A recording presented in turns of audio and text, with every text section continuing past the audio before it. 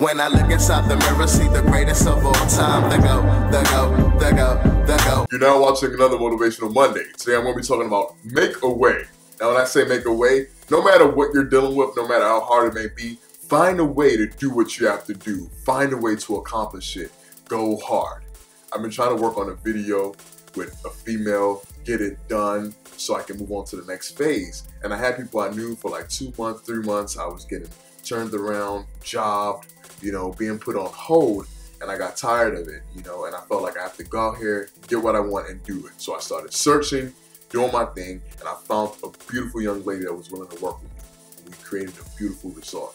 And all that happened because I never gave up. I kept on going. I made a way when everything seemed like it was funny, it was being flimsy and turning around on because I know what I wanted to do and I had to do it. I met a wonderful guy who let me use his spot, his art space to do my thing.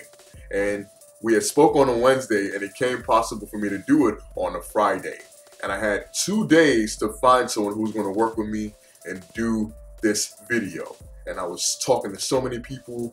Some people were saying, no, we can't do it. No, we need another day. Woo, woo, woo. But eventually it happened because it was meant to happen. It became wonderful and we got a very beautiful result. Never give up, make a way no matter what. If you like what I'm talking about, we have more on the way.